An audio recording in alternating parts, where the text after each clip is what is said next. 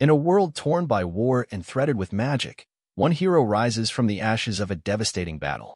Meet Naruto, a warrior bonded with a powerful demon fox, on a quest to rewrite history and save his people. Join him on a journey through time where loyalty, strategy, and supernatural abilities collide in an epic fight for survival. This isn't just a story, it's a saga of friendship, sacrifice, and unwavering determination. Before we get into the story, don't forget to smash the like button and subscribe. Now for the story. Hoarse coughs disrupted the heavy surroundings as dying flames crackled quietly across the corpse-littered ground. A body stirred amongst the rubble and ash as one bloodied hand reached up to sweep aside dirted locks of blonde hair. Is he dead, Kurama? The demon fox's voice was faint when the answer came. As dead as he possibly can be, Kit. Even his body's been completely destroyed. A pause followed for several heartbeats. But we're not far behind either. A dry half-chuckle was offered at this statement as Naruto heaved himself into a sitting position, ignoring the blood that dripped from his wounds, and joined the dark crimson already staining the battlefield. No doubt. I can practically feel our chakra leaking away. Can't believe how strong that bastard is. The fox didn't reply, and under normal circumstances, Naruto would have been worried that the demon merged with him now found it too exhausting to even speak. Instead, the blonde turned dull blue eyes to the broken figure lying only a few feet away, a hole in his chest, limbs twisted in an ugly rendition of a rag doll. Naruto released a bitter scoff at this, too drained to even consider crying for his fallen best friend. He hadn't cried since his godfather had died. The irony here was painful. Once upon a time, he had been the one struck down like this, almost killed by the very attack that Madara had slaughtered Sasuke with not even an hour ago. And the Chidori hadn't even been aimed at the raven-haired Anbu general in the first place. His stupidly proud, unbelievably protective, brilliant best friend had jumped in the way at the last second. Hey, kid. Naruto blinked slowly, pulling his wayward thoughts back together as the Kyuubi's soft, almost wavering voice thrummed in his mind. What is it? What do you think you're doing? The blonde frowned, dragging himself over to some leftover debris to lean against a slab of fallen rock. He doubted he could stand anymore. What does it look like? There's nothing left. Konoha's gone. Madara's gone. Not much left to do, but wait until I go too. A feeble snort batted at him, somehow managing to convey the same amount of annoyance the Kyuubi once did at full strength. That's a pathetic way to die. And I for one am not going to just roll over and wait until death takes us like some common dog. Naruto would have rolled his eyes if he had the energy left to do so. Don't think we have much choice, Kurama. Unless you want me to commit traditional suicide. A growl berated him. Think? You damn brat. Last time I checked, you were a Fuinjutsu master. What were you working on after that pervert of a Sannin was killed? Naruto blinked, mind sluggishly retrieving the memory of a complex seal he had started on after Jiraiya had died.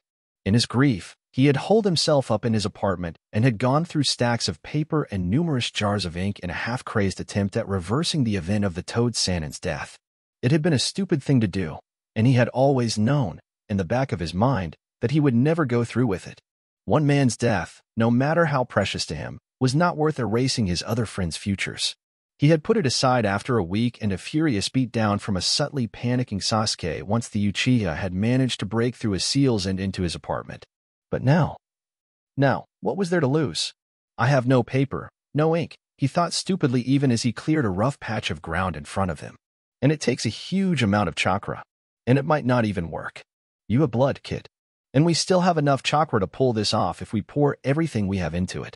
I'll be damned if you won't at least try. We have nothing to lose anymore. Focusing now on the seal he had come up with years ago seemed to lift the haze fogging his mind. Naruto held no doubts that it was mostly a last rush of adrenaline that forced him to concentrate even as his life continued to slip away like sand through spread fingers. But his hand was steady as he drew out the seal in his own blood. He only paused when he started drawing the time frame of the jump. Originally, he had drawn it out to be before Nagato's attack on the Toad Sannin. But if he was going to travel back, he might as well do it properly. Kurama, how many years do you think we can jump? A decade, maybe a little more than that, the fox responded after a considering pause. And it would be easier if you jumped back to a significant point in time. Significant to you, I mean. Naruto remained still. The day of the Kyuubi attack was out of the question. That had been a significant date, and he had played a large part in it, but he had also just been a baby. There was no way he could jump back so far to a time he couldn't even remember. The Uchiha massacre was also impossible. As much as he wished to spare his best friend the loss of his family, he hadn't known Sasuke back then, and the Uchiha clan's destruction had never affected him directly. The best date to jump back to would probably be the day he had been assigned to Team 7. It had been one of the happiest days of his life, and had occurred before everything had gone downhill. Good choice, Kurama proved. It will take every last drop of chakra we have, but that is a strong point in time. It will serve as an anchor for us. Naruto nodded absently and quickly drew out the correct symbols before finishing the rest of the seal. His hand dropped back into his lap, studying the seal with a critical eye for any mistakes. Kurama, where will I end up once I get back? My apartment? On the streets of Konoha? He frowned. In my 12-year-old body? I can't do anything like that. The demon fox was quiet for a long moment, the silence contemplative. You will most likely still have your own body, the Kyuubi admitted eventually. Seals this strong consist of symbols, chakra, and the user's own desires. You wish for the ability to save your friends and family, as well as the village you call home. To do so, you would need the knowledge of this future and the abilities you have gained along the way. But to retain this self, you risk a paradox, where there will be two Uzumaki Narutos running around in the same timeline. That should not be possible. It should not happen at all. But it will happen, Naruto thought back fiercely. I am going to change it all.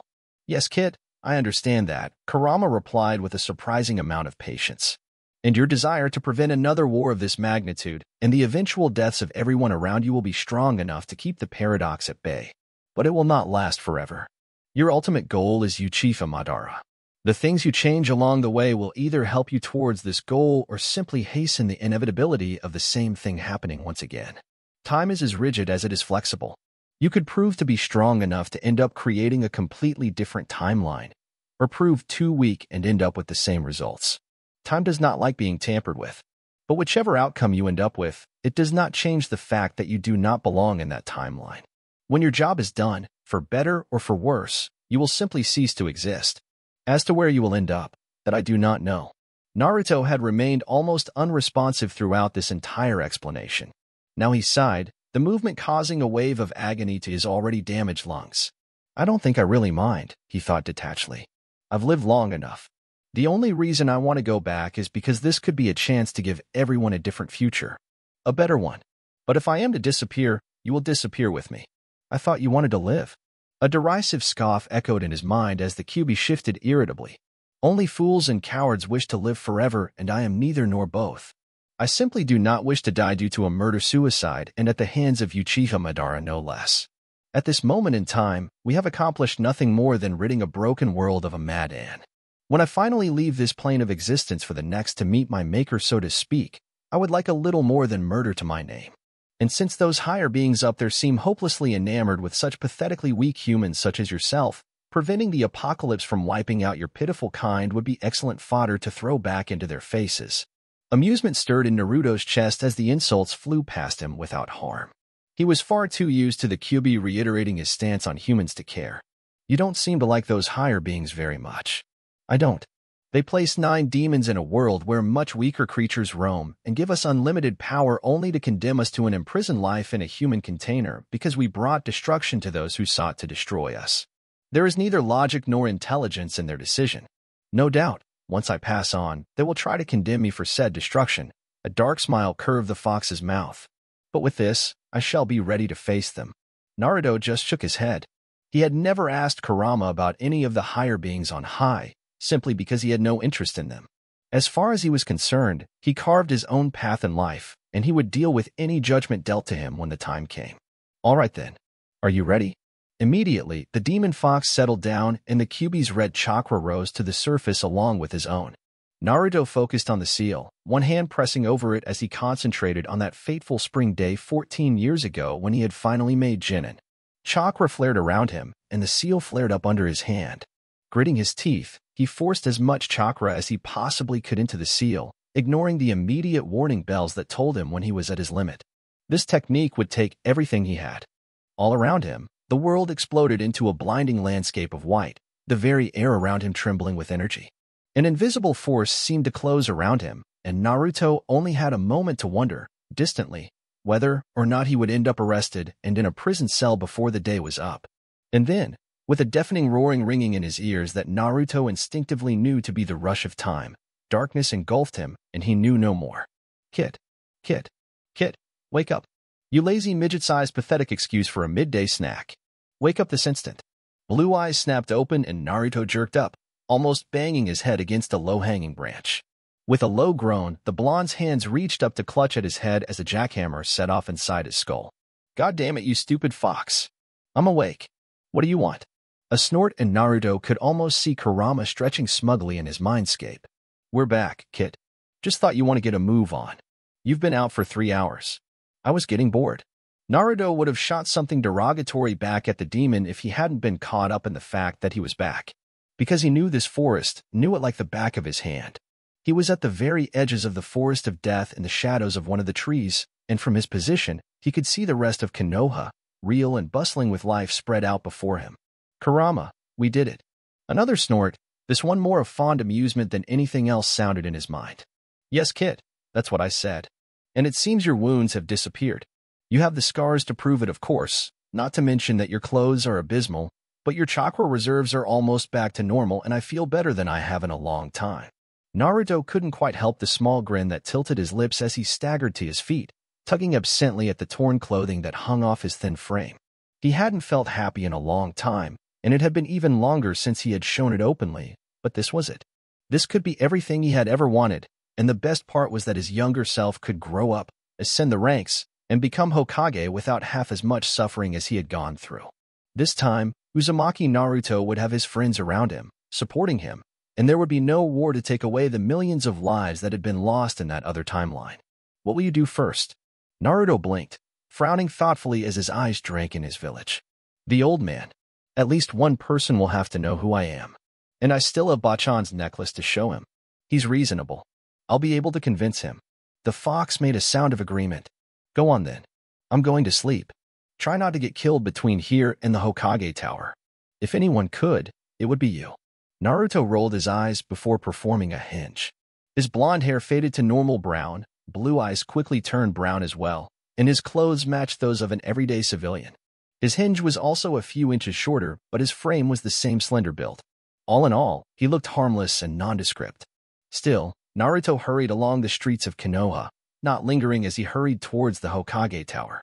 He would not be able to get in like everyone else as he had no identification on himself, but his gaze flitted to the open window of the Hokage's office, his eyes quickly pinpointing the small squad of Anbu on guard duty at the moment. Casually, he turned left, putting him parallel to his destination even as he disappeared from the Anbu guard's line of sight. And then, with a quick half-step to turn back towards the tower, Naruto pushed off from the ground, flashing past the guards and through the open window before coming to a halt in front of a startled Sarutobi Hiruzen. It was so easy that it would have been funny if Naruto didn't know this also meant that if he had been an enemy, the third Hokage would have been dead before anyone could have reacted. Speaking of reaction, Naruto already had his arms in the air in the universal sign of surrender as Anbu rushed towards him. Kunai extended and pointed at him. Sarutobi had risen to his feet, eyes narrowed at him, body tense as his sharp gaze assessed the intruder. Hokage-sama, Naruto started formally. I mean you no harm, but I have something of great importance to speak to you about. If you would allow me to show you something, I would ask you to consider granting me a private audience with yourself. The Sandaime stared hard at the brown-haired man, observing the now obvious henge. This man, obviously a ninja, had entered his office before any of his anbu had even been able to react, and then had stood still while his guards had surrounded him. If he had meant any actual or immediate harm, this man could have already done it. Wordlessly, Sarutobi nodded curtly, keeping his eyes on the man as one of the ninja's hands slowly reached into a hidden pocket and withdrew a necklace. Sarutobi immediately stiffened, recognizing the necklace instantly. Where did you get that? He demanded as he came around his desk and contemplated whether or not the man would give it up without fuss. The henged held out the necklace without hesitation. From a slug currently on quite the losing streak. Sarutobi's eyes widened at the analogy, and he studied the brown eyes for a moment longer. This man knew Tsunade, and while an enemy Nin could just as easily have gotten this information, he also knew his former student would never give up this necklace to some random shinobi. With a decisive nod, he turned to his Anbu guards. Wait outside, he ordered, ignoring the silent protest that immediately flared up. Go. I can handle this. Reluctantly, the Anbu withdrew, and once they had left the office, Sarutobi quickly activated the privacy seals set up around the room. He turned back to the stranger, blinking in shock as the henge dropped and a tall, slender-framed blonde with piercing blue eyes stared back at him, a puzzling sort of affection tilting his lips. Minato. Sarutobi whispered, taking a shaky step back. The blonde sighed, brushing a stray lock of hair away from his face. Not quite, old man. Try his son. I'm Naruto. The Sandaime quickly pulled his thoughts together, steadying himself in the present as he studied the man in front of him. Now that he took the time, he could see the differences between the Yondaime and this blonde. While the two had the same hair and eyes, this man, Naruto, was more slender than and not as broad-shouldered as Minato had been. His jawline and facial structure were deceivingly delicate but also held the same strength Minato had had. And the faint smile that still quirked the blonde's lips as the man waited patiently for him to finish his observations was all Kushina. Absently, Sarutobi wondered if his laugh would be like Minato's. If what you say is true, Sarutobi finally voiced carefully, then you must be from the future. Naruto nodded, the slightest flicker of relief flitting across his features. Yes, 14 years in the future to be exact. Give or take a few months. Here, the blonde hesitated before forging on. You could ask me some questions to make sure. Sarutobi didn't think anyone could pull off this sort of henge, and not many people knew Minato and Kushina even had a son. Not to mention that the whisker markings on the blonde's face and the distinct Kyuubi chakra he could now sense inside the younger man were dead giveaways. But a few identity questions couldn't hurt either. Who were your parents? Again, that faint smile appeared briefly, and Sarutobi frowned inwardly at this implication. Naruto had always been optimistic and always had a ready smile for all. For his expressions to have faded to a mere shadow of what it once was, still is now, was a clear indication that things in the future had not turned out well. Namikaze Minato and Uzumaki Kushina. Sarutobi nodded. Your godfather and godmother? This time, a shadow of pain and deep sorrow darkened the cerulean eyes before that too disappeared. Rhea and Tsunade. Sarutobi blinked, startled. He lets you call him Rhea? Naruto, for it really could be no one else, blinked back. Well, I also call him Ero Sennin, but after I did that a couple of times in front of those women he tries to get to as well as a few dignitaries, he finally told me I could call him Rhea instead, at least while in front of other people. The blonde scoffed a bit. There's nothing wrong with Rhea. It's not perverted or degrading or anything. It's just a nickname. If he hadn't told me that he didn't let anyone else call him that, I would have ignored him altogether. Sarutobi chuckled, finally relaxing entirely. I used to call him that, but he insisted on his full name after he turned 15. He thought the name sounded too female, and I believe Tsunade somehow teased him enough when they were younger that Jiraiya now has the irrational impression that the name is a patronizing insult to his sense of self. Or something of that sort anyway. He paused before continuing softly, You two must have been very close. The blue gaze darkened once again even as the blonde nodded curtly. Yes, Sarutobi nodded and made no further comment on the matter, instead taking in the ripped clothing the ninja was wearing. Very well. I believe who you are. Now, why have you come back? Are things really that bad in the future? Naruto closed his eyes briefly before nodding. Konoha is gone, he said simply even as Sarutobi frowned at this revelation. Razed to the ground. It's civilians and shinobi all dead. I was the last. For a moment, Sarutobi couldn't breathe as he tried to imagine a world where Konoha no longer existed. He glanced at the window towards the rest of the village before looking back at the blonde. It wasn't just the inner strength that was so like Minato, Sarutobi realized, because Kushina had had that strength as well. It was Naruto's entire bearing that reminded him most of Konoha's yellow flash. This man currently standing in front of him, frame relaxed but ready, had the air of a Kage, and a powerful one at that. The kind of power that Sarutobi had only ever seen Minato exude. You became Hokage then. Sarutobi couldn't help but inquire. Naruto inclined his head in affirmation. Rokudaime Hokage.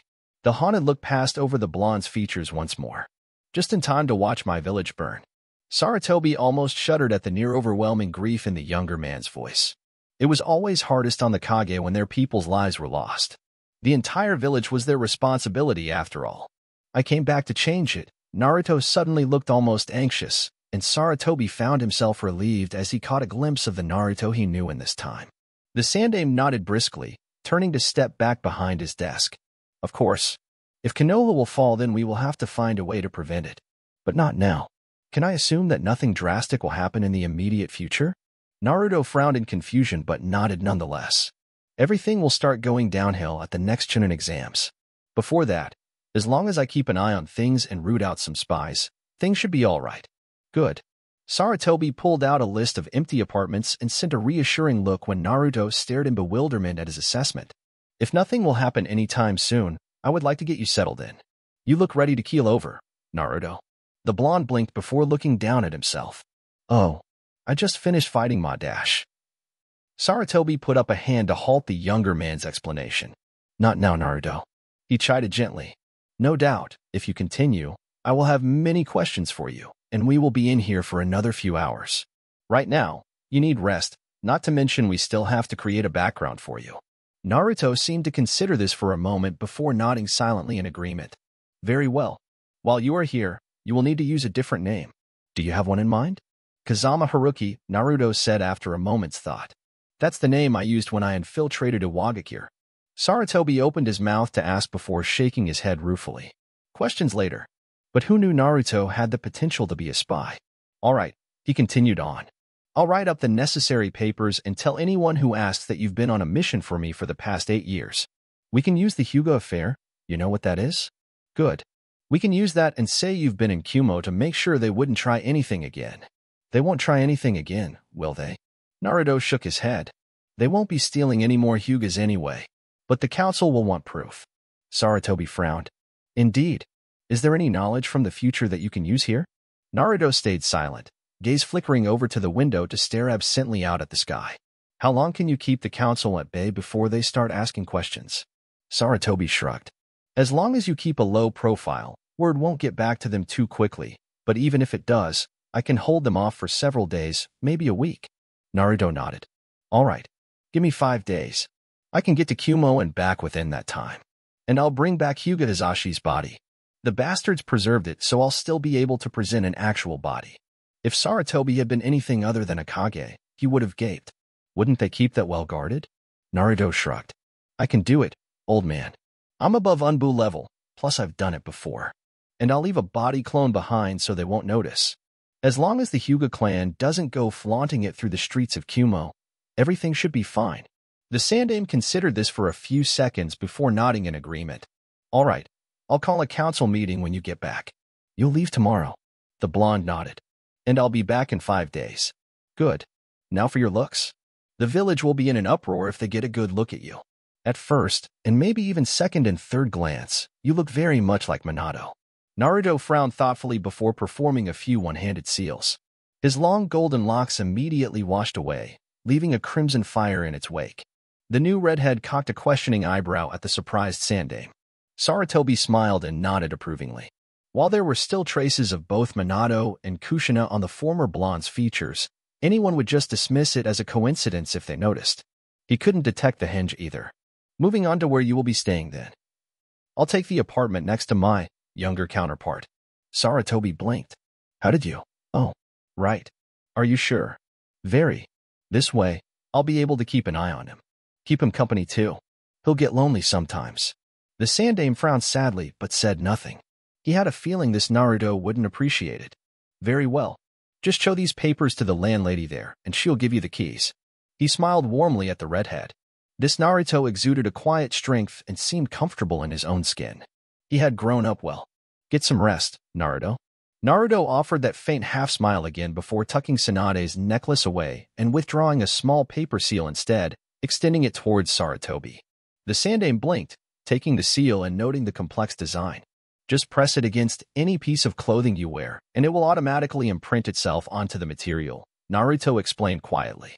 If you're ever in trouble, sending even a drop of your chakra into the seal will automatically inform me of your position, and I will be able to step to your location in an instant. Sarutobi examined the seal curiously before pressing it to his Kage cloak's inside collar. A flash of chakra and the ink on the paper dissolved, reappearing on the cloak instead. What does it do? Hmm. This time, Naruto's smile held the faintest traces of mischief and Sarutobi found himself hard-pressed not to smile back in the face of such familiarity. Try it. Reaching up, Sarutobi sent a small current of chakra into the seal and then almost stepped back when Naruto appeared beside him, a quiet crackle of dry lightning as his only warning. Wide-eyed, Sarutobi stared between the spot the redhead had been and the spot where he was now standing. Hiraishin. Naruto was already shaking his head. One of my own, actually, although it is based on the Hiraishin. I call it Reika Hido Kiri no Jutsu. Same concept, but less, well, like my dad's, I suppose. Enemies rarely see it coming. The seal helps me lock onto the location, but if I have a very clear picture of where I'm going in my head when I perform the jutsu, I can get there just as easily. Sarutobi was speechless for several seconds. While he knew that this Naruto was essentially an adult version of the 12-year-old Naruto, it was still hard to connect the two. To think that Naruto would one day grow up to create his own jutsus sent a thrum of pride rushing through the Sandaime. This is amazing. The younger man seemed to brighten a little, blue eyes glowing with momentary pride at the compliment. Thanks, old man. Sarutobi nodded before making a shooing motion at the redhead. All right, go on then. We'll figure everything else out later. Get some sleep. And he reached into one drawer and withdrew a wallet, deactivating the seal with a flick of his hand before offering several bills. Buy some clothes and food. That should be enough for a month, and then you can start doing missions to earn your own money. Naruto eyed the bills before accepting them with a nod of thanks. I'll pay you back, old man. Sarutobi would have refused if he wasn't certain Naruto would be stubborn about it. So he simply nodded in acknowledgement, deactivating the privacy seals as Naruto, now Haruki, sketched a simple salute before jumping out the window and disappearing over the rooftops within seconds. Hokage-sama. Sarutobi glanced absently at his bodyguards as they slipped back into the office. He waved a dismissive hand in the air as he sat back down and started on a new stack of paperwork. One of my spies. He had to pull out quite suddenly, though, so I was not expecting him. I sent him out a long time ago and haven't seen him in a while. He was also under a henge, and it took me a moment to realize who he was. Now I better start on this. I swear, the paperwork grows every time I turn around. The Anbu on guard duty seemed to accept this easily enough as they relaxed and moved back into the shadows again, some almost palpably amused at Sarutobi's grumbling. But even as he started scanning a request for new medical equipment at the hospital, Sarutobi contemplated the few things he had learned in the last 20 minutes. Dark times lay ahead, waiting in shadowed corners. But perhaps, with the time traveler's help, a man who seemed both familiar and foreign to him at the moment, they would somehow manage. They would have to. Sasuke. He fell back, horror twisting his heart as a familiar figure shoved him away, darting in front of the oncoming Chidori. Sasuke, no. Move. The raven-haired general glanced back a heartbeat before the attack struck, a smirk playing on the man's lips even as Sharingan eyes met Cerulean. And then blue-white lightning seemed to explode in front of them, engulfing the Uchiha as Madara's hand thrust clean through Sasuke's chest. Streaks of lightning spread outward like snakes, wrapping around arms and legs and twisting them to awkward angles. Through it all, he stayed frozen to the ground, breath frozen in his lungs as the lightning died and a broken body tilted backwards. He barely managed to pull enough brain cells together to catch the dead weight before the general hit the ground. Sasuke. His eyes drifted to the gaping bloody hole in the Uchiha's chest, seeing the damning injury and smelling the sickening scent of burnt flesh, but not comprehending. This was Sasuke, his teammate, his rival, his best friend, his brother, and this was not supposed to happen. Don't you dare. Shocked blue eyes flickered back up to meet dull onyx the light inside them fading fast even as the Uchiha's gaze clung desperately to his. Don't you dare. Sasuke rasped again, crimson spilling from his mouth and staining his lips. Let him win. Naruto. And then he was gone, black eyes becoming sightless as the last spark of life spluttered and died, his entire body turning slack. He couldn't breathe, couldn't think, couldn't hear anything as he strained his ears in vain to catch the telltale breaths from the prone figure he was crouching over save for the harsh, raucous laughter of the man standing only steps away from them. He's gone now too, Naruto-kun. Another one you led to his death. Another one you killed. When will you learn your lesson? It is futile to stand against me. This one's last of your pawns too, is he not? Or do you have another one to sacri dash? In the next moment, all he could hear was screaming, and he barely registered that the agonized sounds splitting the air were coming from his own throat as he hurtled at the mocking figure with a vengeance, insanity threatening to conquer his mind. Yet still, still he could hear the sound of mad laughter, cutting into him with terrifying accuracy because Madara was right. It was his fault, his fault again, and once more he had lost another of his precious people. Lost the last of whom he had sworn to protect. With a choked-off cry, Haruki shot up in his bed, momentarily disoriented and drenched in sweat as he gasped for breath. One shaky hand reached up to cover his eyes, mentally pushing the most recent of his former life's memories back. Sasuke had been the last of his friends to go, loyal and unwavering to the very end. That Sasuke was gone now, the one with whom he could banter with and spar with and be Naruto with, not Hokage. But there was another Sasuke he could still save, one that he now had a chance of giving a better life to. Breathing finally steadying, Haruki lowered his hand, dropping it back into his lap as he glanced at the plastic clock he had bought yesterday. 5.10 a.m. stared back at him, and the redhead could only sigh as he tossed back the blankets and got out of bed. Three hours of sleep was actually pretty good in his book, so he wasn't complaining. A quick shower and a cup of ramen later and Haruki was on his way out the door, whisker markings hidden behind a henge and his new weapons concealed on his body. He had gone on a shopping spree yesterday and had even managed to find a lightweight katana, one with an indigo hilt and a blade of tamahagane so strong that a hint shimmering blue flashed across the blade when wielded properly. The katana could channel elemental chakra, which was perfect for Haruki because most of his attacks with his old katana consisted of combining chakra with the sword. Haruki had bought it at Tenten's family store, and while he hadn't seen the future weapon's mistress, he had shaken hands with her father. The man had recommended this katana after listening to Haruki's detailed description of his former blade. Locking his apartment door behind him, Haruki turned in the direction of the village's front gates, only to stop and blink in mild surprise when he caught sight of familiar blue eyes staring inquisitively back up at him. Good morning. Haruki greeted his younger counterpart after a short, contemplative moment. While he was now living next door to the 12-year-old, he hadn't expected to have to interact with him until after he got back from Kumo. I believe I'm your new neighbor, Kazama Haruki. Nice to meet you. This seemed to snap the boy out of whatever fascinated trance he had been in.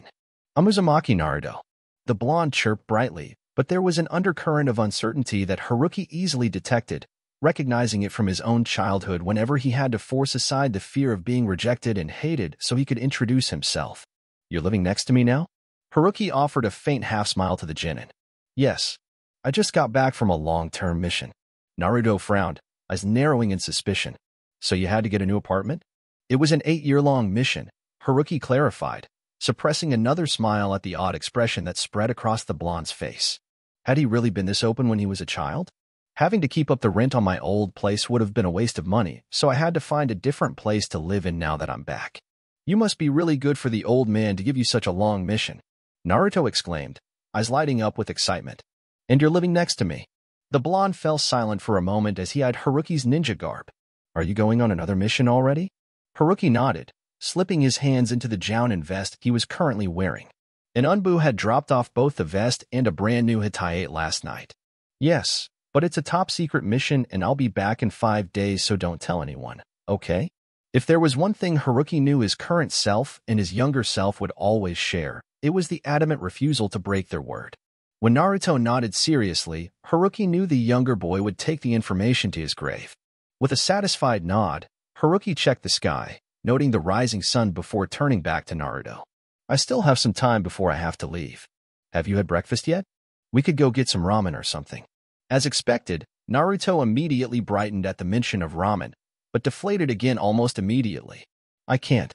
I have to meet my new team at 6 for our test to become Genin, and our sensei told us not to eat anything. Haruki considered this thoughtfully. Really, looking back, Kakashi could have at least let them eat especially when the man was going to be late. Who is your sensei? Hatake Kakashi. Naruto made a face. He's kinda weird. Haruki found himself grinning a little at this. Ah, I've heard of him. He's famous for being late to everything by at least two hours. You must have met him yesterday. Was he late? Naruto's eyes widened as he nodded vigorously. Yeah, he was over three hours late.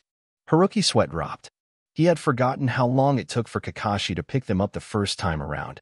But even for the copy Nin, over three hours seemed a bit excessive. Then I don't think you have anything to worry about.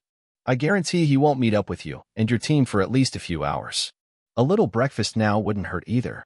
You'll have digested it all by the time he arrives anyway. Still, Naruto hesitated, shifting indecisively from foot to foot. But Sasuke-teme and Sakura-chan won't have anything to eat. Haruki smiled again in approval. How about this then? We still have some time before 6 so we can swing by Ichiraku's, pick up some ramen, and then you can take some back to your teammates. My treat, since you're keeping a secret from me. The blonde's eyes lit up again, obviously pleased by this suggestion. K. Thanks, Kazama-san. Haruki quirked an eyebrow as they began their trek to the ramen stand. Haruki is fine. Kazama-san makes me feel old. Although, he thought reflectively, I feel old either way. Haruki-san then, Naruto peered almost shyly up at him. You're being really nice. The redhead suppressed the faint stirring of anger welling up inside him. While he knew the blonde was simply him as a child, it felt worse this time around seeing the loneliness in someone who, technically, was another person. His younger counterpart very much reminded him of Yusuke at the moment. And thinking of Yusuke, Haruki would have to find a way to adopt him again, but that would have to wait, no matter how much he disliked the idea. Leaving a six-year-old alone in his apartment was hardly ideal. He would work on it when he came back. Can I be nice to a new friend? Haruki smiled gently down at the boy, who ducked his head and flushed red with embarrassment, but seemed equally pleased at the same time. The redhead decided at that very moment that this Naruto, who had already suffered 12 years as the Konoha's pariah, would never know that pain and loneliness again, not while he was here. When he came back from Kumo, if he noticed so much as a glare from any of the villagers, he or she would be getting a taste, only a taste as he didn't think Sarutobi would be very pleased with him if he did any real damage to any of them. No matter how much they would deserve it, as to why enemy Nin had all been ordered to flee on sight if they ever laid eyes on him before he had even turned 18. By the time they had reached the ramen stand, Naruto had opened up and had gone through all the reasons for disliking Sasuke-teme. He's a jerk and an arrogant bastard, and he has the personality of a rock, as well as all the reasons for liking Sakura-chan. She's pretty and cute, and she has cool hair. Haruki only chuckled, absently surprised at the sound since he couldn't remember the last time he had openly shown amusement or shown amusement at all, for that matter. What would you like? Haruki eyed his wallet, wondering if he had promised my treat a bit too soon, but Naruto showed a commendable amount of restraint when he only listed three types of ramen. Could I have a miso ramen, a tonkatsu ramen for Sasuke, and a Tarinika ramen for Sakura-chan? Please. Haruki smiled and nodded, glancing up when Teuchi, and oh, the man was a sight for sore eyes. Both Teuchi and Ayame had died when Konoha had been burned to the ground, but up until the very last moment, both father and daughter had carried on working, determined to give the Konoha citizens some semblance of normalcy amidst the depression of war. Stepped out of the back of the shop, already smiling a greeting at the short blonde. Good morning, Naruto. You're up early. Naruto grinned brightly at the owner of the ramen stand. Morning, Teuchi-san. I have training with my Genin team this morning, but I came by to pick up breakfast first. Realization dawned on Teuchi's face. That's right. You've been assigned to a Genin team. Well, a young ninja can't go hungry. What would you like? While Naruto rattled off his orders, Haruki caught the older man's gaze as Teuchi gave him an assessing look.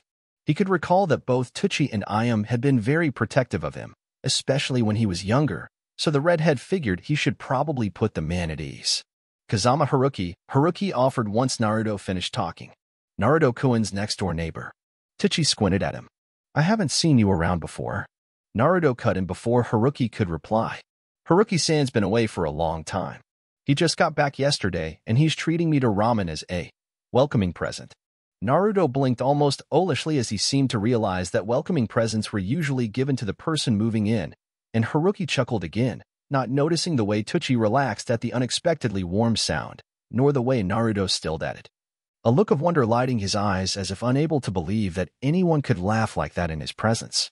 Yes, Haruki shrugged, taking out a few bills to cover the ramen fee. I just moved in and met Naruto-kun this morning. Since neither of us have had breakfast yet, a lie, and Haruki reflexively crossed his fingers behind his wallet, I thought we'd swing by for ramen. Please add another miso ramen to the order. Teuchi smiled again, waving a careless hand in the air as he started on the ramen. Half price on everything today. Consider it a welcome home present from me, Haruki-san. Haruki blinked and then nodded his thanks, placing the correct amount of money on the counter before taking the seat next to Naruto to wait. Haruki-san. The redhead glanced down at his younger counterpart, raising an eyebrow in question. The blonde squirmed in his seat, seemingly torn between two decisions before finally blurting out, Could you show me a jutsu? Haruki blinked at the request, taking in the puppy-like eagerness that was blatant on the blonde's face before nodding. As if he could refuse the blonde anything with a face like that. Besides, the boy reminded him far too much of his own Genin team eight years ago. Those three had learned how to play him for a sucker way too quickly, not that he had tried particularly hard to stop them. Staring out at the quiet town, Haruki considered his jutsus before raising his hands and going through the proper seals, Futon, Kaitsa Hoshi no Mori. The blue swirl of wind chakra rushed around the street outside the stand, a gentle breeze compared to the maelstrom of wind Haruki was used to whipping up. Lances formed in the air at five equal points, surrounding one area before shooting forward. With a flick of his wrist, Haruki quickly dispelled it. Even holding back, a sizable hole would have formed in the ground, and he had no wish to do manual labor for the Sandaime anytime soon. Turning back to Naruto, Haruki blinked at the awestruck expression on the blonde's face. That was so cool. Naruto gushed, nearly bouncing in his seat. You're really strong. Haruki found himself rubbing the back of his head in his habitual movement when embarrassed. It wasn't as if the jutsu had been any higher than a B rank, and Naruto would one day be able to do it as well seeing as he had been the one to create it. It wasn't even all that impressive, but he supposed, to a genin, it really was something to see. You'll be that strong one day too, Haruki answered firmly and watched in satisfaction as Naruto beamed up at him, obviously hearing the sincerity in the redhead's voice. It wasn't as if he was lying either, and the blonde seemed to realize this as he sat a little taller. Your ramen, Teuchi cut in, placing four steaming bowls in front of them. As Naruto quickly dug into his bowl, the ramen stand owner glanced at Haruki again, his gaze softer this time but also slightly puzzled. You seem somewhat familiar, the man finally voiced, and Haruki forced himself not to tense up. But I could swear I've never met you before. Haruki shrugged and said nothing, plucking a napkin from the counter and handing it to his younger counterpart as the blonde inhaled his ramen before picking up two more bowls and waiting for Naruto to finish. Teuchi shook his head, offering a warm smile. Never mind. Any friend of Naruto's is a friend of mine. Come back anytime. We're open the entire day.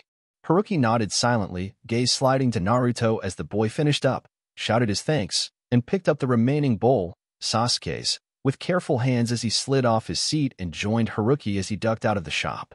Teuchi waved them out with a smile, one which Naruto answered with a grin of his own before the two set out towards the bridge. Haruki barely remembered to let Naruto lead, as he wasn't supposed to know where they were going. Soon, Black and Pink caught their attention and Naruto quickly shouted out a greeting. Sasuke only cast the blonde a disinterested look before glancing at Haruki, Black Eyes assessing, and Haruki felt his heart twist painfully in his chest. He quickly turned his gaze to the last genin of Team 7, watching as she scowled in Naruto's direction but directed a curious look at him. Again, the wide green eyes sent a rush of memories through his mind, some good, some bad, and all of them painful. He finally settled for keeping his eyes on his blonde companion. Somehow, that hurt less. Hey Sakura-chan, Sasuke-teme. I brought you food. Baka. Sakura immediately snapped, swatting at the blonde. You're late, and we're not supposed to eat. Naruto pouted and rubbed his head. But Kakashi-sensei's going to be late anyway, and a small breakfast won't hurt. Besides, Haruki-san says it's okay. Haruki almost sweat dropped when three pairs of eyes turned on him. Technically, he hadn't said it was okay, per se, but he supposed he had implied it, which meant he now had to take responsibility for his words. With an inward sigh, Haruki nodded cautiously. Training with nothing in your stomach is dangerous for you. A small meal wouldn't hurt, and your sensei will be late anyway. You'll have digested everything by the time he gets here. See? Naruto thrust the ramen bowl he had been holding in Sasuke's direction, taking the boy off guard and somehow managing to dump the bowl into the Uchiha's hands. Eat it, before it gets cold. Sasuke barely spared the blonde a glance before directing his cool gaze at Haruki. Who are you? He asked bluntly, his words falling just short of rude. Haruki, now more than used to Sasuke's personality, replied without being offended while Naruto scowled at the raven-haired boy, Kazama Haruki, Naruto-kun's next-door neighbor. I met up with him this morning and thought some breakfast would help keep your strength up today. Sasuke said nothing more but, after a moment of consideration and a quick scan of Haruki's Jounin vest, dug into his breakfast, nodding curtly at both him and Naruto. Haruki turned his gaze on the pink-haired Kunoichi next and offered the Tarinika ramen for the girl. Sakura blushed, ducking her head shyly as she glanced at Sasuke before replying uncertainly, I'm on a diet. Haruki tilted his head contemplatively. He had forgotten that the Sakura at this age was much more, well, girl than Kunoichi. It won't hurt, he assured after a moment, searching for the right words to convince her. Sakura liked books and facts so Haruki would use that. You need a well-rounded diet to get a good figure, and that includes carbohydrates. As a kunoichi, you'll burn off anything you don't need when you train later. Not eating or only eating certain foods is bad for your body in the long run. Sakura's cheeks darkened as she glanced hesitantly at him. You sure? Haruki allowed a small smile to curve his lips as he extended the bowl again. I'm sure. Mere seconds later, Haruki had Sakura eating her breakfast as well, and he turned to the blonde still standing at his side, now eyeing his teammate's ramen enviously. The redhead smothered his amusement and extended his own bowl instead. I can pick up my own breakfast later, Naruto-kun. Growing boys need food. Naruto only hesitated for a brief moment before flashing a grateful smile up at him and accepting the bowl, digging in with little fanfare. Haruki nodded in satisfaction before glancing up at the sky. I should get going. Things to do. A bit of advice, though. Do a bit of a warm-up after you finish eating. It'll help digestion, he directed another smile in Sakura's direction who promptly blushed. And it'll loosen your muscles when you're running around later. And later, during your test, and even after that. Try not to think too individually. You're a team now, and your teammates are what will make you strong. Haruki carefully kept his gaze focused on all three of them, not singling anyone out. Sasuke would get defensive otherwise. It's a testament to your own strength if you can see the strengths in other people and learn to work with them. Letting your teammates down because of pride or arrogance means you are just as weak as those who don't have enough physical strength. Weaker, because you have no excuse. All three nodded, even Sasuke who seemed surprisingly at ease in Haruki's presence, reminding the redhead of his Sasuke, the one who had been happy with himself and content with the people around him. They looked somewhat puzzled at his last hint, and Sasuke frowned a little at the mention of pride being a weakness, but none of them questioned him further. Haruki hoped it would be enough to get the Uchiha thinking. He knew how the adult Sasuke thought, knew what buttons to push to encourage the part of Sasuke that would one day grow up to be a great man, but he could only start the ball rolling now and give a hand to the boy now and then. The rest would be up to the future Anbu general. Naruto paused from his eating, voicing a question that bordered on insecurity. I'll see you later? Haruki smiled at the blonde's tact as he nodded, reaching out absently to ruffle his younger counterpart's bright hair as he stared down into inquisitive blue eyes. Of course, Good luck on your test, duckling. Naruto blinked, obviously startled, though it was a toss-up as to who was more so, the blonde or Haruki. Duckling? The redhead found himself rubbing the back of his head again, repressing the embarrassment threatening to show on his face. Ah, you reminded me of my old Genin team for a moment. Short and small and, well? My apologies. Naruto seemed to consider this for a moment, pouting most likely at the short and small part before flashing an almost pleased grin up at Haruki. It's okay. I don't mind. Haruki raised his eyebrows but said nothing more, nodding a farewell to the blonde before doing the same to the other two. Without another word, the redhead quickly hurried away. He had planned to start out earlier, but he hadn't taken lingering with the rest of Team 7 to give them health advice into account. No matter, five days was plenty to get to Kumo and back if he kept moving. Yo, all three Team 7 soon-to-be Genin members turned various expressions of murder on the silver-haired Jounin in front of them. You're late. Both Naruto and Sakura accused, while even Sasuke glared daggers at the masked Nin. Kakashi just eye-smiled at them. Sorry, sorry, I got lost on the road of life dash. Liar. Naruto and Sakura chimed again, scowling fiercely at the Jounin. Kakashi shrugged carelessly, as flickering briefly to the nearby trash can and noting the three bowls of ramen. Ma, ready for your test? Naruto pouted as he eyed the lunchbox in each of his teammates' hands. He wriggled from his position, struggling with the ropes holding him to the tree stump. His stomach suddenly growled, breaking the silence, and the blonde promptly scowled, ducking his head as both his teammates glanced at him. He jerked a little when a bento box appeared in his line of sight and, following the hand that held it, Naruto blinked in confusion as he found himself staring into Onyx. Sasuke only frowned a little, extending some tempura in the blonde's direction. Eat. Sasuke snapped gruffly. You got us breakfast earlier. I'm just paying you back. Naruto gaped before grinning widely and accepting the food. He almost choked on it when another bento was thrust into his face, a red-faced Sakura scowling at him. Just this once. The kunoichi snapped, offering one of the rice balls from her lunch. And it isn't as if you bought us breakfast, but like Haruki-san said, you'll be useless if you don't eat something. Naruto grinned again, Features bright. Thanks Sakura-chan, Sasuke-teme. Sasuke just rolled his eyes. HN. Just hurry up dope, before sensei gets back. Naruto quickly swallowed the rice ball, smiling contentedly for a moment before his eyes widened, watching as a strong wind rolled in and the sky darkened. Kakashi appeared, staring forebodingly at them as the ground shook. You three. He barked, looming over them. Sasuke, Sakura, I told you not to feed him. What have you got to say for yourselves? Sasuke only glared right back, chin tilted up defiantly as he unconsciously shifted to place Naruto further behind him. Beside him, Sakura had flushed and her eyes were wide with alarm, but her shoulders squared as if preparing for battle and her gaze never wavered from the copy Nin. Behind both of them, Naruto scowled at Kakashi, blue eyes narrowed. This was his team, damn it. They had gone to bat for him. He couldn't let them take the fall. We're a team. Naruto glared fiercely as their sensei's gaze turned on him. Don't just single them out. Besides, I'm the one who ate the food. Shut up, dope. Sasuke tossed a dark look over his shoulder at the blonde. I offered when you were already hungry. It's not just your fault. Sakura scrambled closer to her two teammates, elbowing the tied-up Genin roughly. Yeah, I chose to feed you too. Stop trying to act tough. It makes you look stupid. All three turned back to their sensei as Kakashi came even closer, visible eye unreadable. If that's how you three, then I have no choice but to pass you. A stunned silence fell over the three Genin as their surroundings returned tomorrow, and Kakashi I smiled at them again, crouching down to their level. You three are the first team I've ever passed, he told them cheerfully. You stuck up for one another instead of just listening to me.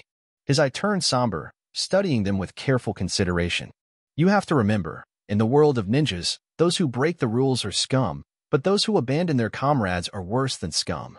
All three Genin were quiet for a moment, Taking this in as Haruki's last piece of advice came back to them. They glanced at each other. How had the redhead known? Well, Kakashi continued in a lighter tone, rising and stuffing his hands into his pockets. Team 7 will start missions tomorrow. Meet at the bridge at 6. With a poof, the copy disappeared and, unbeknownst to the newly formed Team 7, reappeared in a tree nearby, observing them with a steady eye. Below, Sasuke rose to his feet, Dusting himself off as Sakura quickly packed up the lunches and placed them by the stump. Kakashi would probably come back for them later. Both of them turned to stare at the blonde of their team before Sasuke finally heaved a sigh and took out a kunai, cutting the ropes with quick efficiency. Adobe, Sasuke voiced, idly twirling his kunai as Naruto landed on his feet and stretched out his limbs. Who is your neighbor? How did he know Kakashi-sensei's test would be based on teamwork? Naruto shrugged sheepishly as even Sakura focused on him with curious attentiveness. I dunno. He just moved in next to me. He just returned from an eight-year-long mission and needed a new place to live. And he knew Kakashi-sensei was going to be late, which was why he offered to buy us breakfast. Just like that. Sakura questioned, looking puzzled. I mean, he doesn't really know us, does he? And he's a Jounin. Why would he bother with a bunch of Genin? Naruto shrugged again, one hand reaching up to rub the back of his head. I don't know, but... Dobe, stop. Sasuke suddenly ordered, and Naruto instinctively froze as even Sakura was blinking at him with a startled expression on her face. Sasuke studied the smaller boy with careful consideration before murmuring, he did the exact same thing. Air, did what? Naruto glanced nervously between his two teammates. Can I put my arm down now?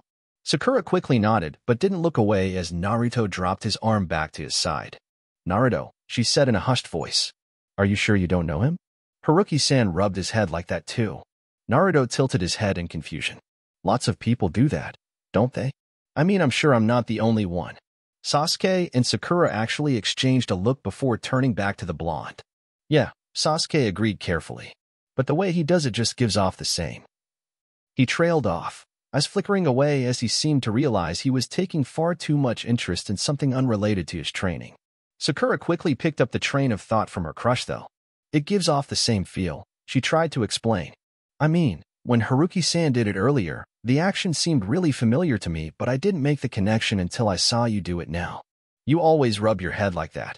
Naruto frowned but dropped any suspicions easily enough. Well, I've never met him before, but I think he's nice. And I don't think he was faking any of it either. I mean, even Sasuke-teme listened to him without pretending not to. Sasuke which before tucking his kunai away and turning in the direction of his home. HN, whatever. I'm leaving.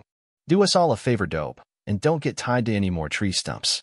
And just like that, everything went back to normal as Sakura rushed after the raven-haired Genin asking for a date with a rising blush in her face, and Naruto scowled after them and went on his own way, deciding to head to Iruka's apartment first to tell the man the good news. Still hidden in the shadows of the nearby tree, Kakashi ran an absent hand through his hair. Interesting. Someone in Konoha knew of his tardiness and, more importantly, his tests, someone who had been away from Konoha for the past eight years. Last time he checked, he hadn't been a sensei eight years ago. He paused to consider this. Surely the Sandaime would be willing to tell him something about this Haruki. He checked the sun's position and, deeming himself a sufficient three hours late for reporting back to the Hokage, disappeared in a puff of smoke. Late, Kakashi. I don't even know why I bother anymore. Kakashi I smiled at the Hokage before whipping out his newest Icha Icha Paradise book. Around him, several of the other Jounin twitched and Kurenai looked ready to deck him. The Hokage just sighed and waved a dismissive hand in the air. All right, now that we're finally all here, tell me whether you passed your teams or not. Team 1. Pass. Team 2. Pass. Team 3. Fail. Team 4. Pass. Team 5. Fail. Team 6. Fail. Team 7. Pass. Dead silence met this announcement as all the present Jounin turned to stare dubiously at the copy Nin. Kakashi glanced up from his book, I scanning the room lazily and a faint smirk became visible behind his mask. The Hokage only shook his head, a small smile curving his lips as he marked the answer down. He hadn't expected anything less, seeing as Haruki had given no indication that his younger counterpart would fail, but it was still shocking for Kakashi to actually pass a team. Team 8. Pass. Team 9. Fail. In Team 10. Pass. Sarutobi nodded his approval. The new batch of Genin seemed to show promise. Very well, missions for your Genin teams will start tomorrow. Dismissed. The Jounins piled out of the office, some shooting curious glances at Kakashi as the copy Nin made no move to leave. Kakashi, Sarutobi started, some idea of what the man wanted already forming in his mind. Can I help you with something? Kakashi straightened, tucking his book away as he made sure the office door was shut before turning to the Hokage. Ma, I came across something interesting today. Oh, yes, a man named Haruki. I only got his first name. My students were talking about him. A Jounin recently returning from an eight-year-long mission who knows how my tests work. Sarutobi forced down the urge to show his amusement, carefully keeping his face neutral as he studied the curiosity flashing in Kakashi's visible eye. You must mean Kazama Haruki. Sarutobi offered, watching the faint frown pass over the Jounin's brow. He just returned yesterday from an infiltration mission. He's good at what he does. Getting information on you wouldn't be too hard for him. Kakashi nodded slowly but added bluntly, I've never heard of him. Sarutobi shrugged nonchalantly. You were anbu eight years ago, Kakashi, and I didn't exactly announce his mission to the village. He's a quiet man. You might have missed him. Kakashi nodded again. Do you know where he is now? Around. Sarutobi voiced vaguely. I've given him some vacation time. He deserves it. Planning to interrogate him yourself? Kakashi had the decency to look sheepish. Just curious, Hokage-sama. My kids seem quite taken with him. Besides, if he's a fellow Jounin, I'd like to get to know him. Air, what does he look like? Sarutobi chuckled. Look for red hair. You can't miss him. Once he returns, of course. He added mentally. Kakashi nodded his thanks, sketching a quick salute before disappearing in a swirl of leaves. Sarutobi stared disapprovingly at the pile of foliage now in his office. Really? Couldn't they just use the door? It was there for a reason. A figure slipped unseen over the wall surrounding the shrine, passing by the lax guards placed at the entrance. Red hair tucked neatly away, the black-clad Nin quickly sped into the interior of the shrine, pausing only long enough to deactivate the simple seals placed around the small building housing the body of Hyuga Hizashi. For someone as hated as the Hyuga clan head's brother, the man really did get quite a resting place. Haruki supposed this had more to do with the fact that they simply wanted to flaunt the fact that they had Hizashi's body while ignoring the fact that they had failed to get their hands on Hyuga Hiashi. Either way, while the shrine was simple enough, the place was also built quite elegantly, trees planted on either side of the shrine with statues lined up on either side of the path. The red paint coloring the roof was well maintained as well, and the grass surrounding the shrine was well kept. No torches were lit inside the shrine which made Haruki's work that much easier. Reaching the dust-covered coffin in which Hizashi had been laid out, Haruki noted the somewhat complex seal on the lid. He frowned. This was not the seal he had come across in his former life. That seal had just been placed on the coffin for keeping the corpse from decomposing. A simple enough seal. This one. Haruki leaned in closer, studying the symbols that made up the seal. When he had retrieved Hizashi's body with Niji in the other timeline, he had been 19, seven years from now in this current timeline. Why would the seal on a dead body be different between the two times? His eyes suddenly focused on the center of the seal, a swirl of symbols that defined suspended life. Suspended life? The only reason that would be here. With a mental curse, Haruki silently pulled out a piece of paper, ink, and a brush. He really, really hoped this wasn't what he thought it was. He had worked with life suspension seals before, having come across them when going through Sasori's heart container. He knew how to counter it. A few minutes later, he slapped the counter seal on top of the coffin. A brief flash of chakra lit the coffin lid before the ink on both seals disappeared. Quietly, Haruki lifted the lid of the coffin, putting it aside carefully before taking a deep breath and looking inside. He stared. It was official. Someone up there seriously hated him. Impassively, he watched the gentle rise and fall of Hyuga Hizashi's chest as his mind raced at this new turn of events. The man had clearly been dead when he and Neji had gone to fetch the body. Clearly. Which meant Kumo or someone else had killed the man sometime before Haruki had turned 19. He leaned closer and noted the familiar thin scar marring the man's throat, a calculated cut for murdering prisoners. Obviously, they had planned on killing him, Someone had figured out what the Hyuga's curse seal would do once the man was dead. Someone else had then managed to save him, and then had Hizashi preserved until they could figure out how to break the curse seal. Naruto scoffed. He had figured that out by the time he had turned 16. Apparently, one had a lot of free time on their hands when infiltrating enemy countries. He had spent an entire year in IWA and had managed to figure out both the cage bird seal and Orochimaru's curse seal. Not bad for a 15-year-old. But right now, None of those thoughts helped. On one hand, if he didn't take Hyuga Hizashi's body back, he would have a guilty conscience for not getting the poor man out while he was still alive. The Hyuga clan would be up in arms if they ever found out. Neji would probably want his head on a silver platter if the same thing happened, and he would have no proof of his spying in Kumo for the council. And it was one hell of a but. Nothing unexpected would happen in this timeline if he stuck to his plan and retrieved a dead Hyuga. Hizashi, and not a live one. On the other hand, if he did take Hyuga Hizashi's body back, he would be guilt-free, and Kami knew how much guilt he already had on his shoulders. He didn't need any more. The Hyuga clan would be indebted to him for forever and a day. Neji would have his father back, and he would have sufficient proof for the council. But, and there was a shitload of buts this time, the Hyuga clan would never keep quiet about something like this. He had no idea how the Sandaime wanted to play this. Konohagakure would probably regain an age-old enemy out of Kumo before the week was out. Another war would start, his purpose for coming back would become null and void, and the timeline would be completely messed up. It would be unbelievable what the difference between a dead man and a live one could make if it wasn't currently staring him in the face. Literally. Kami, he wasn't even being paid for this. Haruki grimaced, closing his eyes briefly and pinching the bridge of his nose as he debated on his next action. Given his two choices, the logical one would be the first.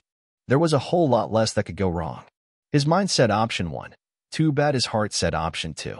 He breathed deeply, staring down at the comatose Hyuga again.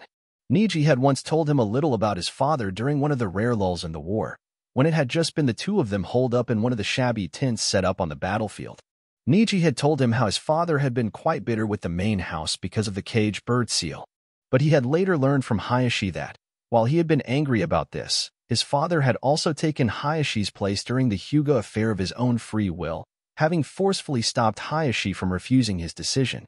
To Naruto, Hyuga Hizashi seemed like a good man, and Naruto knew all about how angry one could get over having a seal put on oneself without consent.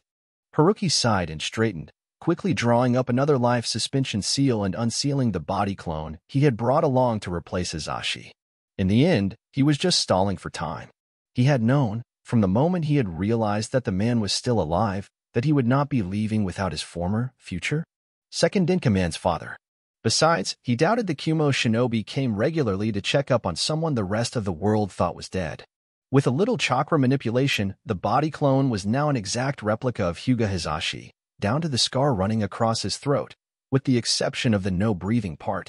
Gently, Haruki lifted Hizashi from the coffin with minimal difficulty, making sure the simple kimono he was wearing didn't catch on anything and carefully placing the man on the ground against a nearby pillar. While the seal had kept the man alive without food or water, seals like that also didn't work forever and the seal's recipient's health would decline over time. Hizashi was already too thin. From there, the redhead quickly replaced Hizashi with the body clone, shutting the coffin again and activating the new life suspension seal. The body inside the coffin would still be unanimated since it had never been alive in the first place, but the seal would look like it was working at the very least. Clearing up any evidence of his presence from the shrine and brushing away the few fingerprints he had imprinted on the coffin, Haruki scanned the room one last time before scooping up the Hyuga clan head's brother and slipping out of the shrine. Again, leaving the shrine was just as easy as getting in, even with an extra burden. Stopping once he reached the mountain pass that would eventually lead him back to Konoha, Haruki paused to consider his options. He couldn't seal the man into a scroll, and he really didn't want to use his space-time ninjutsu with a physically fragile man in tow. Haruki scowled. This seriously put a wrench in his plans.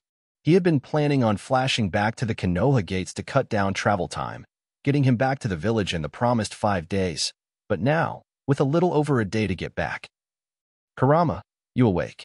Silence, and then a low grumbling growl reverberated in his mind as the fox yawned. What do you want, kid? I need a lift back to Konoha. Got an unexpected passenger.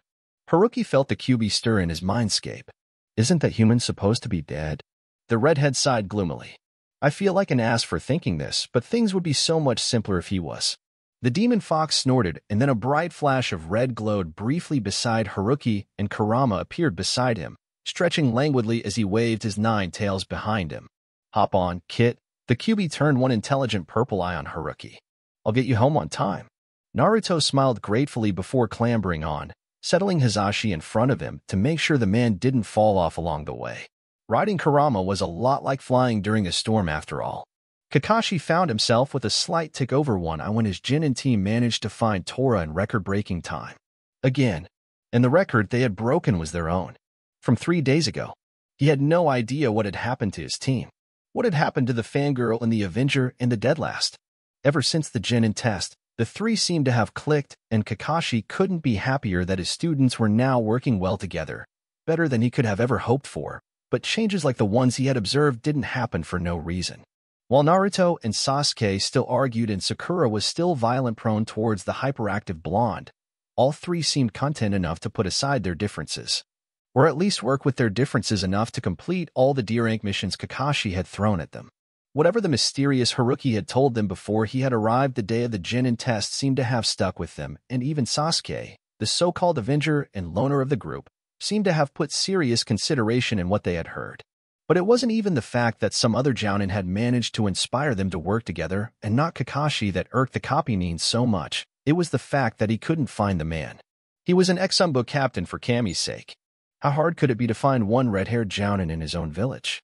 And worst of all, he had even gone back to the Sandaime to ask for the redhead's whereabouts, only to be told that what Haruki did in his own time was his business and Sarutobi was not going to drag the man back to work just because Kakashi was dying of equal parts curiosity and paranoia. For the rest of his life, Kakashi would swear blind that his Hokage had been silently laughing at him the entire time. With a hidden grimace as Naruto bounced up to him, Tora in his somewhat scratched hands and Sakura and Sasuke coming up behind him, Kakashi sighed and nodded. All right, good job. Naruto, let Sakura and Sasuke take the cat back to the daimyo's wife. Before any of them could ask why, the copy quickly doled out a half-lie. You returned the cat last time. I want Sakura and Sasuke to do it this time. Make sure to be polite. No matter what happens, understand. Sakura nodded quickly enough, happy to spend more time with Sasuke, and took Tora from Naruto, but Sasuke shot him a searching look before glancing at Naruto, eye speculative even as he turned away. That was another difference. Whatever Haruki had said, Sasuke now seemed to study his two teammates more seriously, and, on several occasions, had already made use of Naruto's Kage Bunshins the Uchiha had half-suggested. Half-ordered Naruto to send his Bunshins to scope out the terrain when Kakashi had set up an obstacle course for them, and then had Naruto disperse them and relate back to the team what traps the copy Nin had managed to set up, and had also gotten Sakura with her knowledge of theory and facts to teach. Naruto whenever the blonde couldn't quite understand something Kakashi was teaching them. Sometimes, even Sasuke would listen in, his face carefully blank and turned away but a telltale glint of concentration in his eyes nonetheless.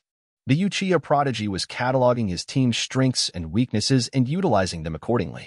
Kakashi knew Chunin and even Jounin who couldn't do what Sasuke was learning to do. And it wasn't just Sasuke either.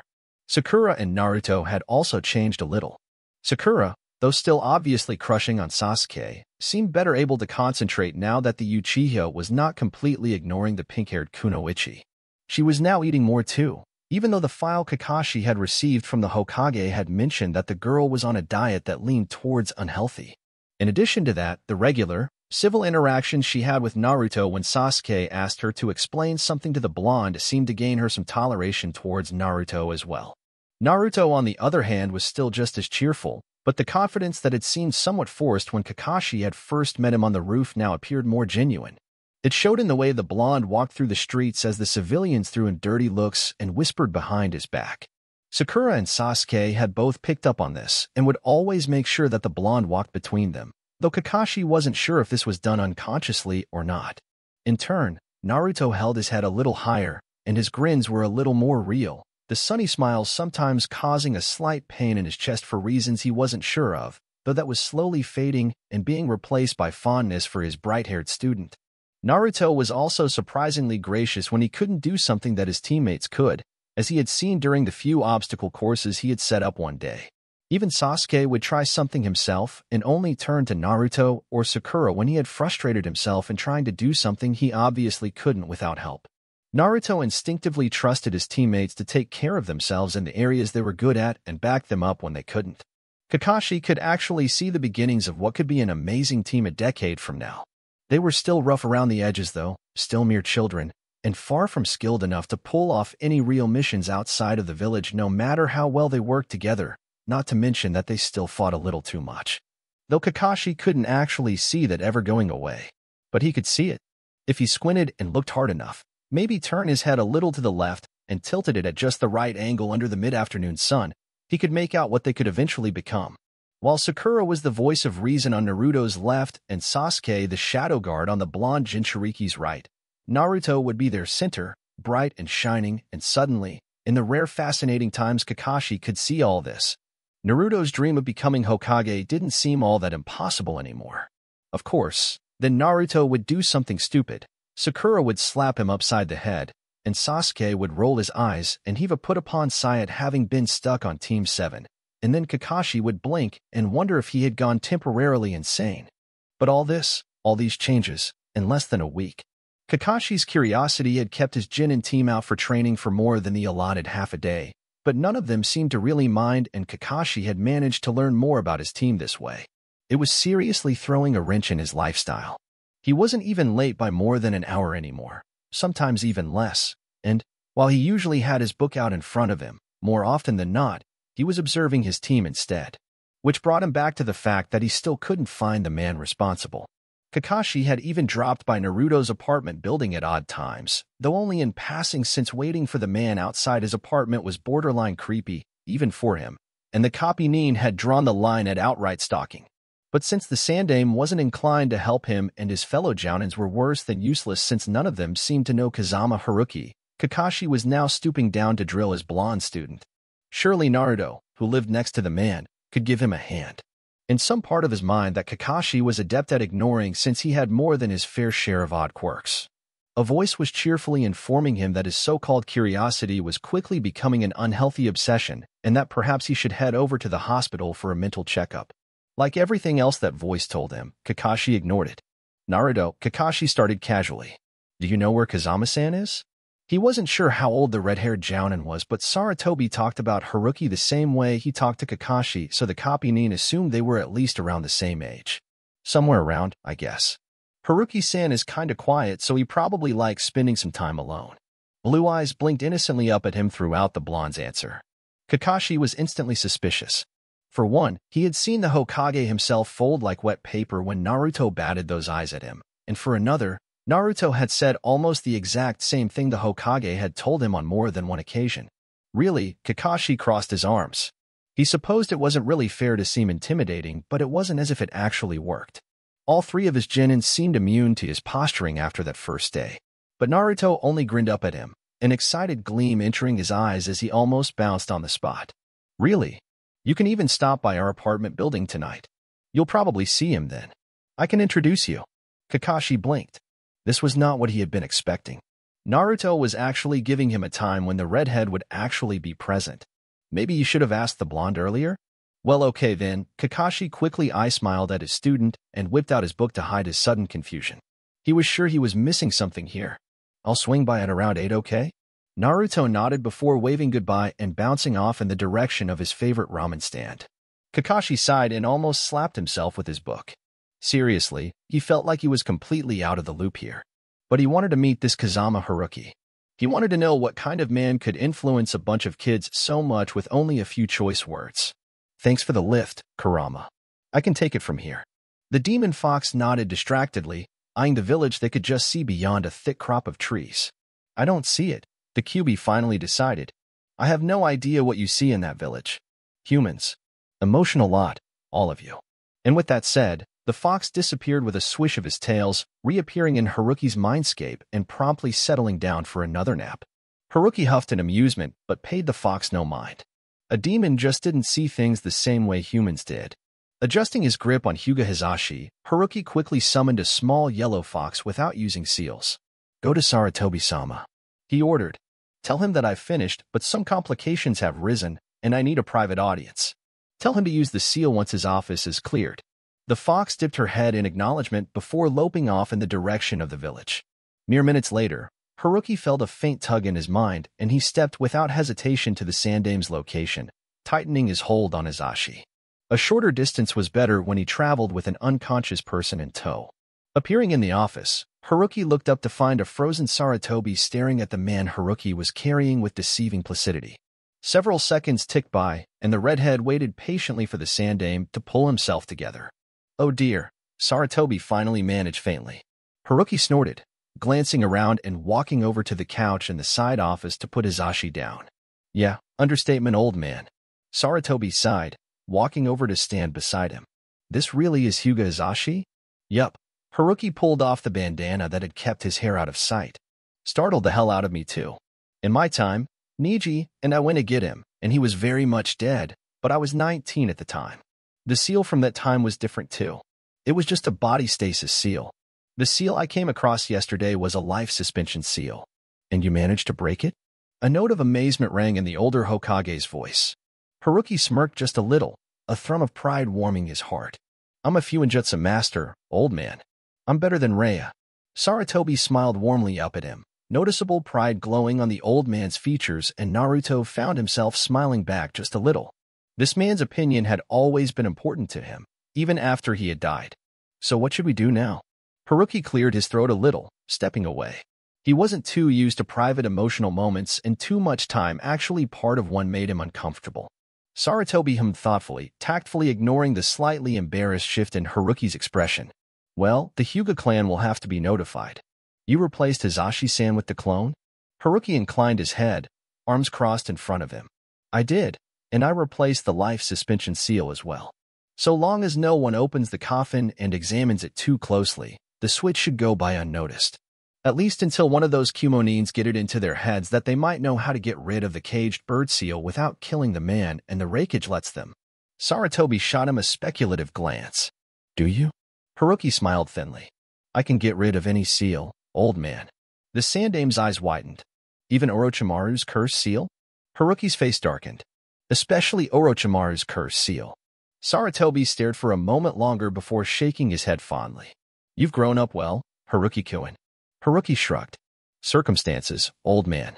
Circumstances and necessity. The Hokage only nodded this time, understanding without asking. Well, we won't be able to keep this a secret for very long. Kumo only asked for Hiashi-san's body, though, and then eventually settled for Hizashi-san's body. There were no terms for a prisoner. We could use that to our advantage. War, old man, Haruki reminded, running a hand over tired eyes. We don't want war. Sarutobi nodded in agreement, as briefly showing concern at the desolation in the redhead's voice. Of course not. We would need some legitimate way to place Hizashi-san back in Konoha without alerting them to the fact that Konoha managed to send someone into Kumo for his body. Haruki absently unsealed his Jounin vest from a scroll and tugged it on, as distant as his mind recalled all those strategy sessions he and Shikamaru had sat through, suggesting tactic after tactic, building on them, perfecting them. An idea formed in his mind and Haruki looked back at Sarutobi who, to his credit, had stayed patiently silent as Haruki took a trip down memory lane. Ah. Haruki rubbed the back of his head. Sorry, I have an idea. What if we say that the life suspension seal had been weakened with time? The coffin was covered in dust, so it's obvious no one's poked around there for a while. We could say that Hizashi-san managed to escape because the seal's hold on him slipped enough for him to get out. I could go back to Kumo and blow the shrine sky high. I'll leave some evidence of a faded life suspension seal lying in the wreckage before making my way back to Konoha. We could say Hizashi-san blew up the place. I mean, a disoriented man waking up inside a box is hardly ideal for anyone. He would try to get himself out, and he could claim temporary selective memory loss. The mountains in Kaminari no Kuni are distinctive, and he would have realized where he was and, not remembering much of anything, immediately set out for home. That could place him in Konoha without us ever having to lift a finger. Konoha finds out, the shit hits the fan, and Kumo has no room for deniability this time around. You said so yourself. A prisoner was not the deal we made with Kumo. We get Hizashi-san back. Kumo can't declare war on us, and we'll have total control of the entire situation.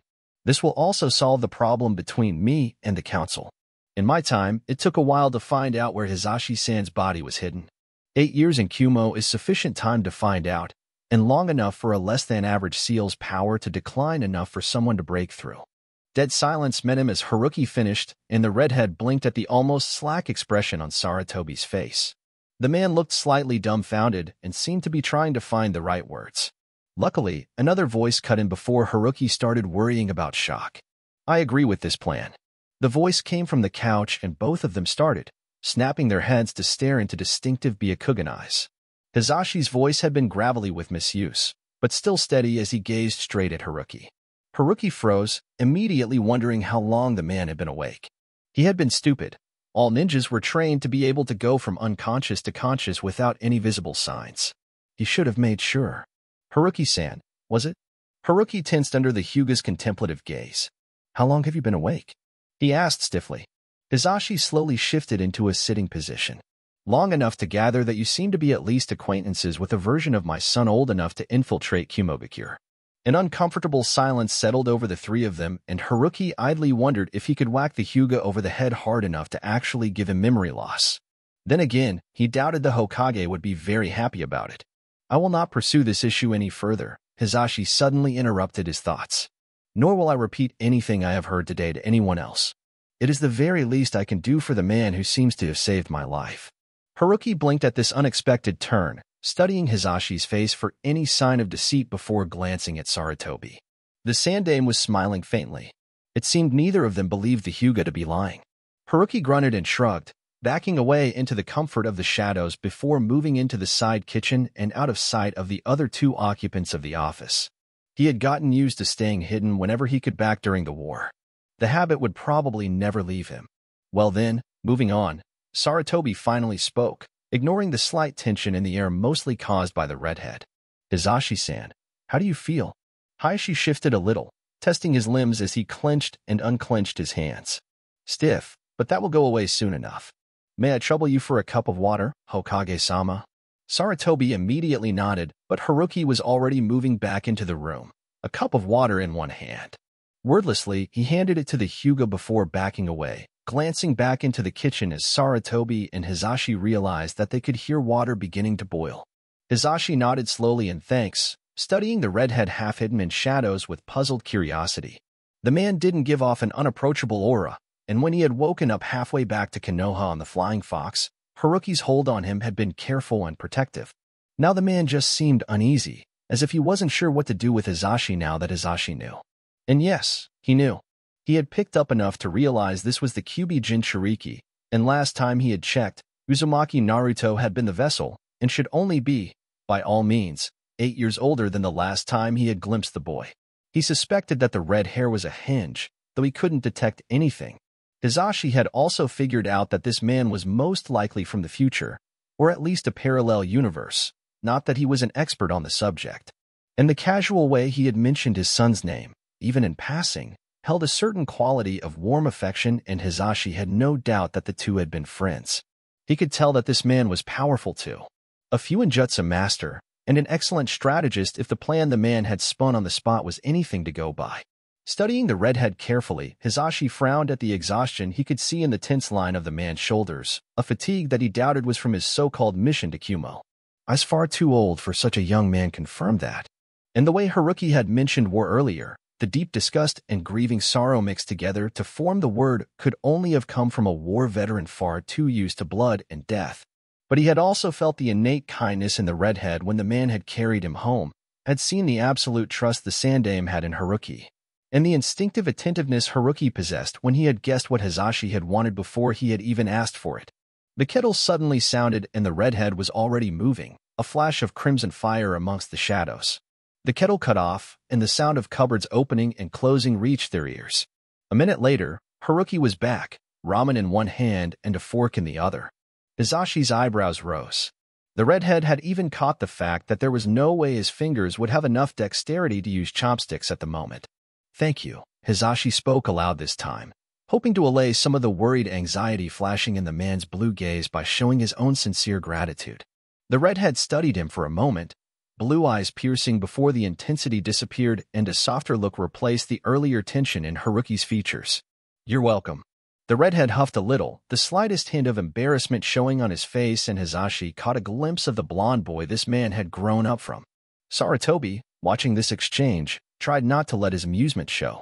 Really, first Kakashi, and now Hizashi. Haruki was reeling people in without even being aware of it. All right, back to the plan. Sarutobi drew their attention back to him as he turned to Haruki. It's an excellent plan.